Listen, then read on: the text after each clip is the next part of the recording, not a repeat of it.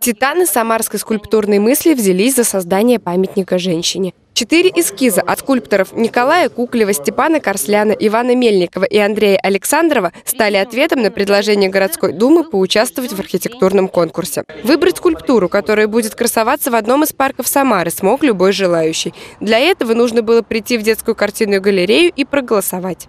Было очень много народу в день, когда мы проводили ночь в музее. У нас было около тысячи человек за несколько часов. Когда мы просили, допустим, вы встаньте туда, где вы считаете, что вот эта вот скульптура вам нравится больше всего.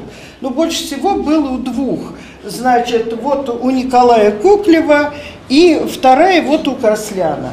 Предложение вызвало множество отзывов в интернете. Свое мнение о том, какая именно скульптура лучше всего отражает идею и является собирательным образом всех самарских представительниц прекрасного пола, высказали более 11 тысяч человек.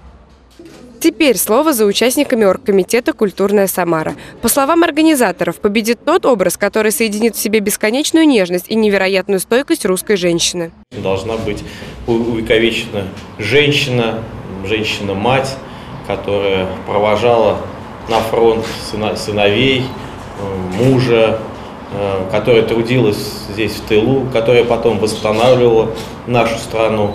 И вот я уже говорил о том, что это должен быть э, такой памятник нашей поколенческой благодарности. Памятники скульптурной композиции, они ставятся не только и не столько для того, чтобы украшать город, но еще и для того, чтобы вызвать у людей какие-то эмоции, чувства, заставить стать на секунду лучше, чище, вспомнить о корнях, об истоках. Если хотя бы каждый десятый, который будет проходить мимо этой скульптурной композиции, хотя бы на секунду об этом задумается, я буду считать, что мы свою работу выполнили сполна.